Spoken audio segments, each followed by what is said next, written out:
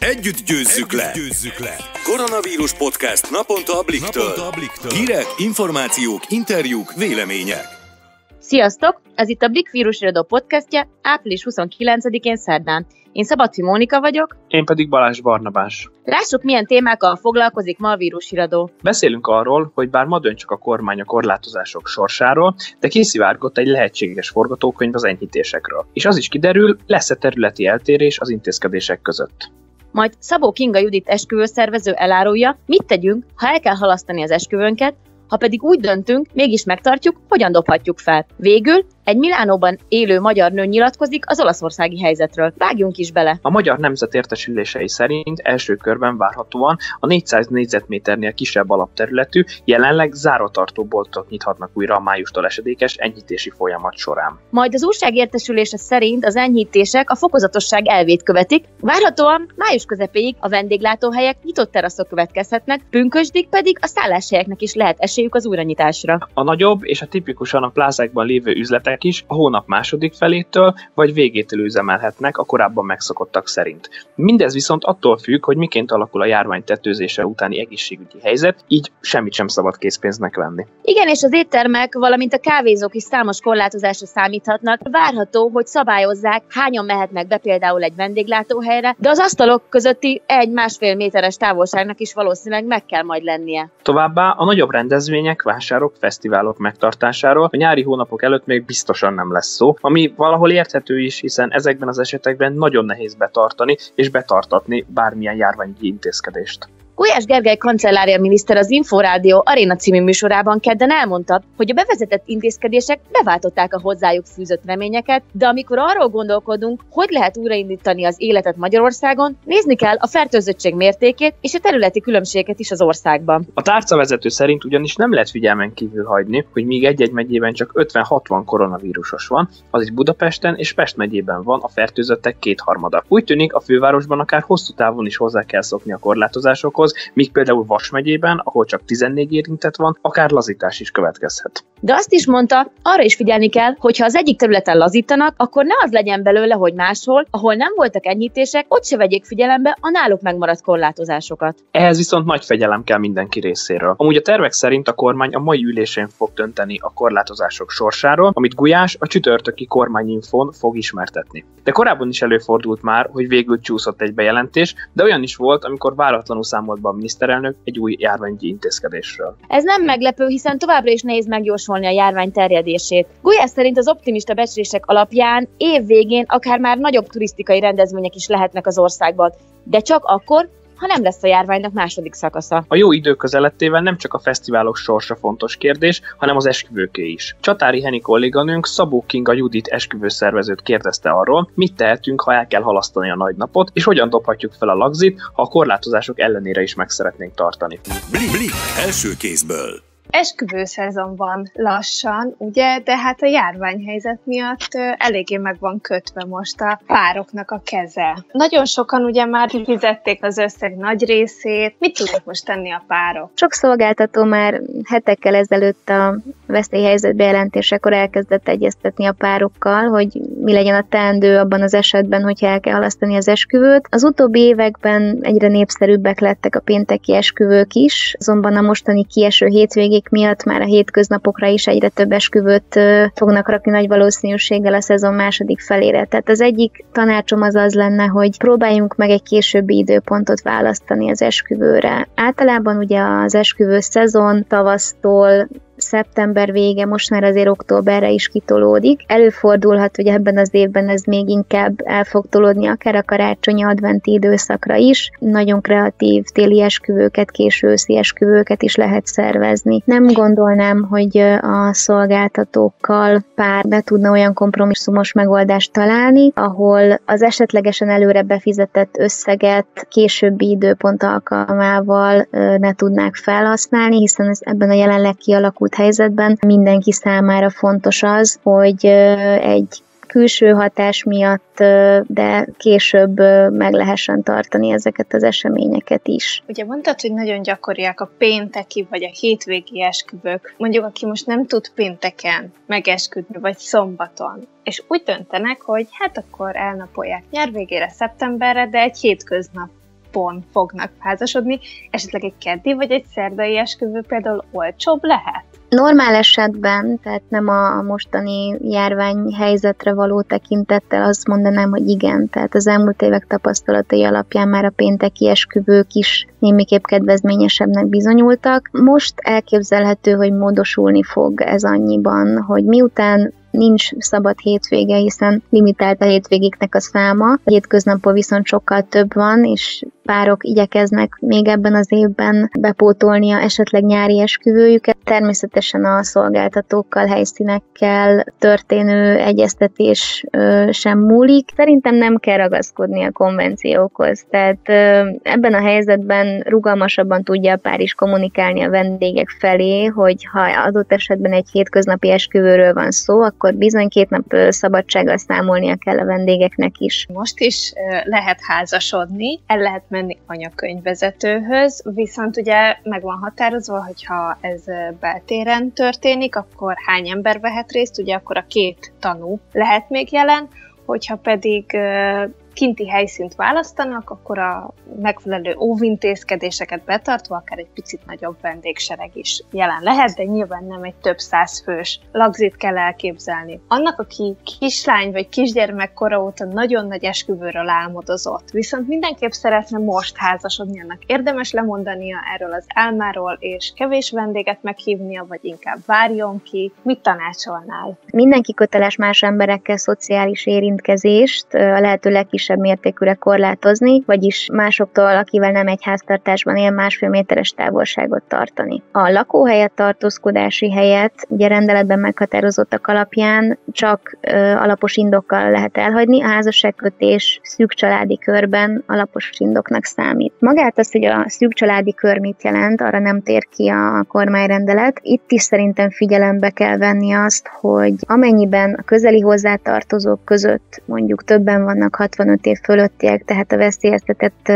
korosztály. Nem biztos, hogy jelen körülmények között jó lenne, hogyha ők is részt vennének ezen a ceremónián, hiszen minden egyes alkalommal, amikor ők az otthonukból kilépnek, kiteszik magukat annak a veszélynek, hogy, hogy fertőzést megfertőződnek. Jelen esetben célszerű lehet akár mondjuk két tanúval, akik mondjuk nincsenek a veszélyeztetett korosztályban megtartani ezt az esküvőt, illetve magát csak a szertartást. Tehát a lakodalmat megint csak nem lehet nagyon nagy létszámban megtartani, szabad téren sem érdemes egy pikniket rendezni, hisz otthon szűk családi körben rendezett esetleges ebéd vagy vacsora sem feltétlenül javaslott jelenleg, hiszen pont emiatt a fertőzés veszély miatt. Aki mindenféleképpen meg szeretné tartani most az esküvőt, adott esetben adminisztratív okokból, mert mondjuk kisbabát vár a menyasszony, és szeretnék még a baba érkezése előtt egybekelni, vagy esetleg bármilyen hitelfelvétel, vagy egyéb kapcsán szükségük van arra, hogy házastársi kapcsolatot létesítsenek. Nekik azt javaslom, hogy igen, valóban két tanúval egy nagyon szerény szertartást tartsanak meg most, és magát a lakodalmat, azt pedig halasszák későbbre, amennyiben ez lehetséges. Nyilvánvalóan egy kisbaba ér érkezése esetén ez nem fog tudni megvalósulni, tehát nekik lehet, számolniuk kell azzal, hogy egy vagy két év múlva tudnak csak majd nagyobb létszámú lakodalmat tartani. Ugye elég korlátozottak most a lehetőségek, akár a díszítés, a catering, tehát az ételfogyasztás terén is. Mit tudnál tanácsolni, hogy dobják fel azok most az esküvőjüket, akár a dekorációt, akár utána az ebédet vagy a vacsorát, akik nem tudnak étterembe menni, nem tudnak most szép díszeket rendelni, akár egy kültéri, vagy akár egy beltéri esküvő esetében. Próbáljunk meg eltekinteni a kültéri esküvőktől, hiszen hogyha hivatalos szertartásról van szó, normál esetben is más rend vonatkozik a anyakönyvi hivatal vagy házasságkötő termen kívüli szertartása, tehát a szabadtéri szertartásra. Ennek sok esetben külön díja is van, illetve jelenleg elképzelhető, hogy nehezebben is lehet megszervezni egy ilyet. Amennyiben házasságkötő teremben kerül megrendezésre egy szertartás. Azt javasolnám, hogy azért mindenképpen adjuk meg a hangulatot egy esküvői csokorra, lavőlegének esetleg egy kitűzővel, illetve egy asztaldísz lehet még az anyakönyv elé helyezni. Ha esetleg egy ismerős rokon vagy egy bevállalósabb fotós mégis elmegy az esküvőre, aki képet fog készíteni, akkor ez nagyon jól tud mutatni, illetve utána ezeket könnyedén haza is lehet vinni, hogyha a pár úgy dönt, hogy kettesben ünnepli meg ezt a, ezt a nagy kisnapot, akkor a kis asztaldíszt otthon is ki tudják rakni, és mondjuk adott esetben egy étteremből rendelt menüsorral kettesben pesgős kocintással megünnepelni. Esküvő után ugye mi más következhet, mint egy csodás nászút. Nagy eséllyel most ez is elmarad. Mégis mit tanácsolnál a friss házasoknak, hogy azért mondjuk ha megvan az esküvőjük pénteken, akkor hétfőn bemenjenek dolgozni, ha már nászútra nem tudnak menni, vagy azért mondjuk pihenjenek otthon, töltsenek kettesben egy kis időt. Ez egy összetettebb kérdés. Sok esetben az utazási iroda vagy a légitársaság eleve törli az utat, vagy az egyes országok tiltják be utazást, ugye ez szintén nem egy előre látható dolog itt a következő hónapokban. Nincs lehetősége arra a párnak, hogy elmenjen nyaralni. Abban az esetben egyébként az utazási iroda és a légitársaság is, hogyha ő általuk történt a törlés, köteles az összeget visszafizetni a párnak, tehát ezen nem kell aggódniuk át tudják rakni esetleg egy, egy őszi időpontra is, hogyha egy olyan utat választottak, ami a lokációja lehetővé teszi azt, hogy akár egy tengerparti nyaralást még októberben is be tudjanak iktatni. Ezen kívül még sok munkahely a kialakult helyzet miatt átmeneti uborka szezonra hivatkozva most küldi szabadságra a munkavállalóit. Abban bíznak, hogy a nyáron visszaáll a rend, megnő a munkamennyisége, egy a nyára tervezett szabadságolásokat átszervezik tulajdonképpen most tavaszra, illetve majd év végére. Ez is akadályozhatja a párt abban, hogy mondjuk egy kisebb lélegzetvételű szertartás után azért mégiscsak valamilyen nászutas hangulatba kerüljenek, hiszen adott esetben nem tudnak kivenni szabadságot. Amennyiben mondjuk belföldi utat terveztek, érdemes folyamatosan tartani a kapcsolatot a szállásadóval, hogyan tervezik az idei szezont, visszaigazoltatni velük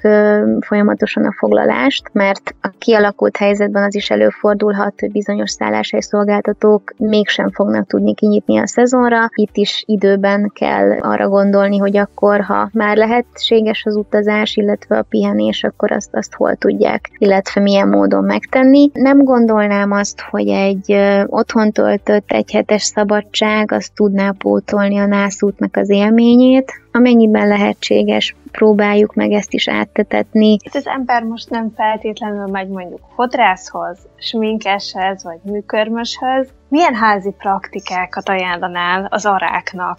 Szerencsére a fodrászok és kozmetikusok, illetve manikűrösök még abban a szerencsés helyzetben vannak, hogy ők dolgozhatnak, illetve aki tud, az dolgozik is. Szerintem ez pont egy olyan pontja az egész esküvőnek, amiből nem szabad uh, engedni, amennyiben mégis érdemes nem feltétlen az interneten található videókra hagyatkozni, hanem mondjuk a fodrásszal, kozmetikussal egyeztetni, mielőtt az embernek kiáll saját maga melírokat gyártani a hajába, illetve csípőfogóval leszedni a műkörmét. Meg kell próbálni ragaszkodni ahhoz a frizurához, vagy ahhoz a sminkhez. Nyilvánvalóan a, a szolgáltatóval történt egyeztetés után. Amennyiben csak egy kis szertartás lesz, nem fontos az, hogy a mennyasszony hogy néz ki a fényképeken, hiszen nem készülnek profi fotók. Egy kreatív fotózás keretein belül, akár pár hónap múlva már profi fodrásztal, már profi sminkessel elkészítetni egy profi fotósorozatot, és akkor megvan az az élmény is. Köszönöm szépen, hogy válaszoltál a kérdéseinkre. Köszönöm szépen a lehetőséget.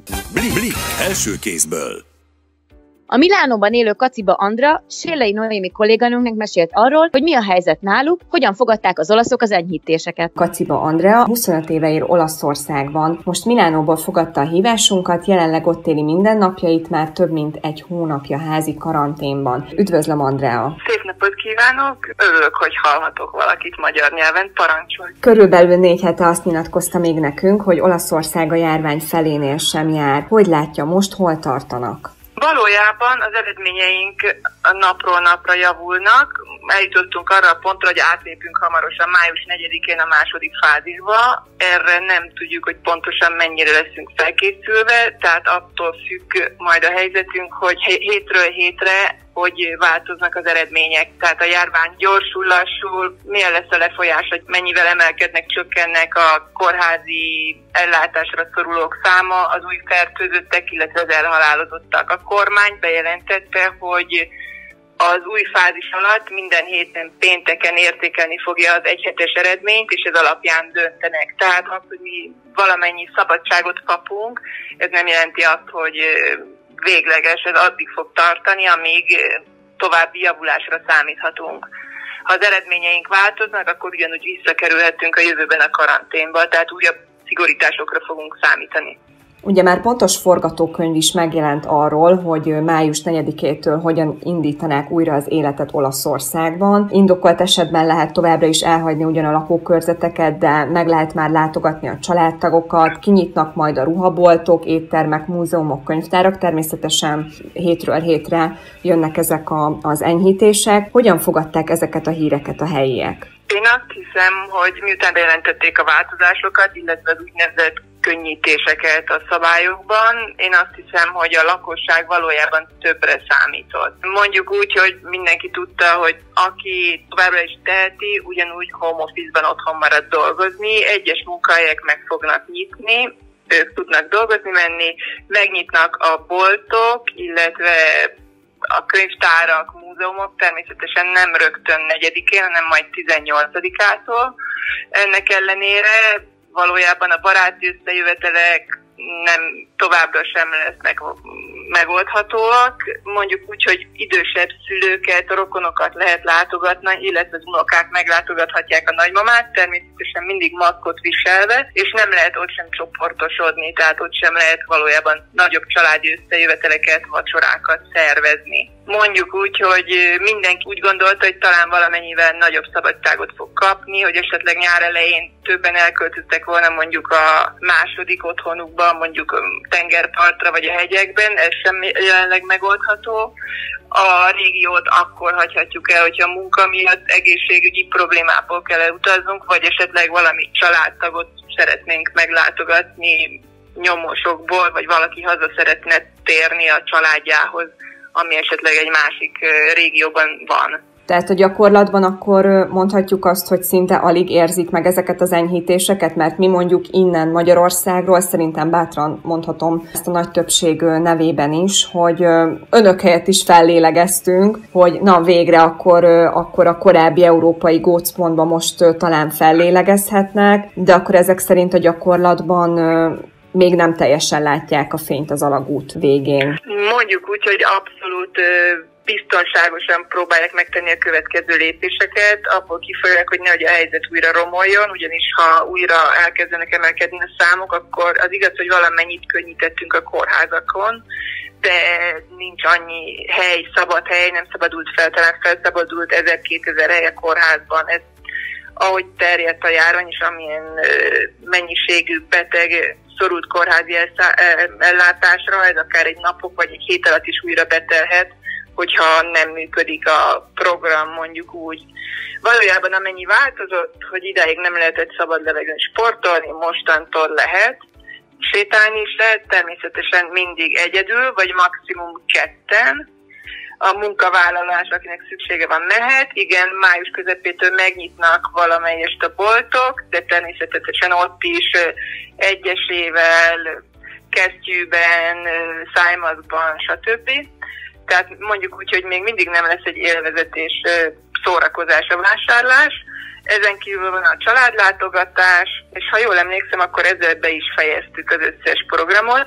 Mondjuk úgy, hogy amit biztos, hogy megváltozott, hogy mostantól a temetések lehetnek nyilvánosak, maximum 15 főig részt vehetnek a rokonok a temetésen, és természetesen szájmazban, ami ideig nem volt engedélyezett, ideig nem lehettek temetések a városban. Nagy vízhangot váltott ki, hogy ugyanúgy nem lehetnek még mindig misék a templomokban, lehet, hogy ott még valami módot, módosítást el fognak végezni, de gyakorlatilag ennyi. Tehát nagyon nagy szabadságot még nem kaptunk, hogy előre nincsen hova mennünk, hanem vásárolni, dolgozni megyünk, vagy egyedül a parkba, akkor vagy ketten, maximum ha a családban ketten vannak felnőttek, akkor a parkig mehetünk, vagy sétálni, mondjuk úgy, de változatlanul kerülnünk kell a másokkal való találkozást.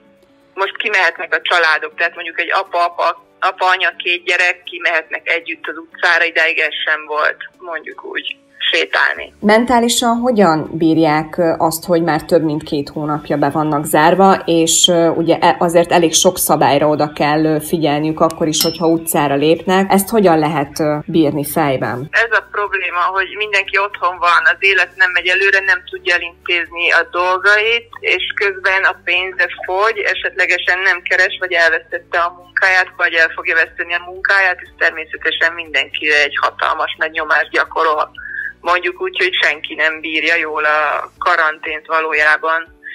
Igen, mindenki mondja, hogy a lehető legjobbat kell belőle kihozni, foglalkozunk magunkkal, csináljunk valami újat, tanuljunk, de valójában azért ez sokakra egy hatalmas nagy nyomás. Nagyon vártuk május 4-ét, mert arra számítottunk, hogy valami nagyobb változást fog hozni. Az olasz családok már azt tervezik, hogy mi történik a nyáron, hova mennek a nyáron mi lesz a nyaralással, hát egyelőre még semmi kilátást nem látunk. Egyelőre ott tartunk, hogy az éttermek valószínűleg és a kávézók június 1 fognak megnyitni. Távol kell ülni mindenkinek egymástól, a pincérek kesztyűben, maszkban fognak dolgozni, és maximum két személy mehet együtt vacsorázni vagy ebédelni. Tehát szintén nem lehet csoportosodni. Mondjuk úgy, hogy még azért a nagyobb szabadságtól még távol állunk, ennél egy picit többre számítottunk, de bízunk benne, hogyha az eredmények megfelelőek lesznek, akkor majd hétről hétre esetleg valamit javul a helyzetünk. Mit gondol, az életük lehet majd olyan, mint a koronavírus előtt? Szerintem valójában mindenki megváltozott, úgyhogy nem hiszem, hogy ugyanolyan lesz az életünk. Én bízom benne, hogy előbb-utóbb ennek vége lesz. A kormány szerint meg kell tanulnunk együtt élni a vírussal, valószínűleg ez hosszú lesz, amíg nem létezik valódi kezelés, illetve nem létezik majd egy védőoltás a vírus ellen.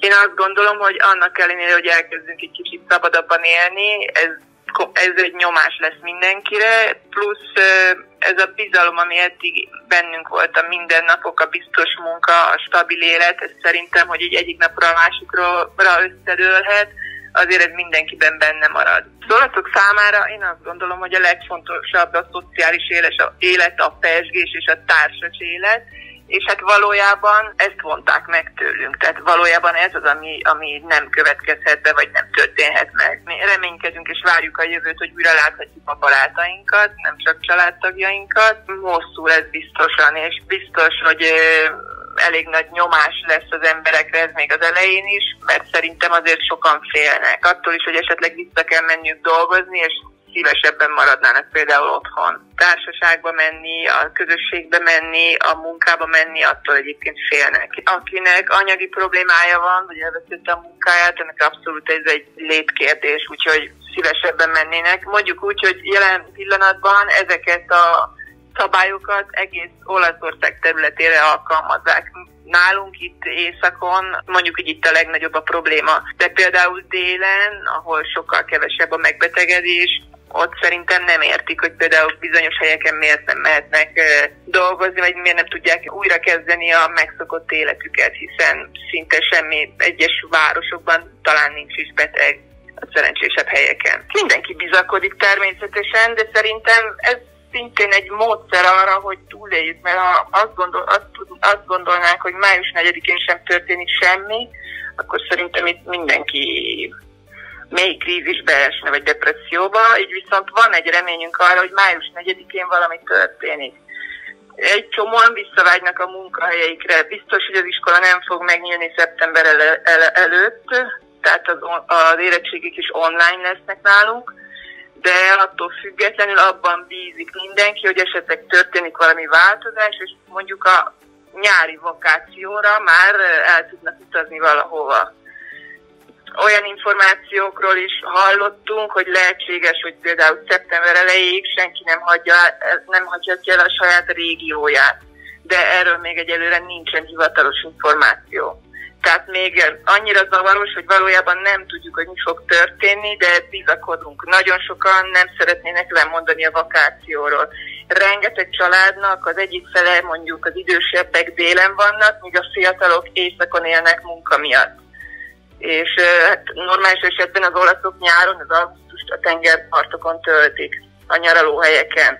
Most az északiak ebből a szempontból, ha ez tényleg megtörténik, hogy nem mehetünk sehova, akkor ez az egész nyár az így elúszott úgy, mint a tavasz. Nagyon szépen köszönöm Andrea a beszélgetést, a hallgatóinknak pedig a figyelmet.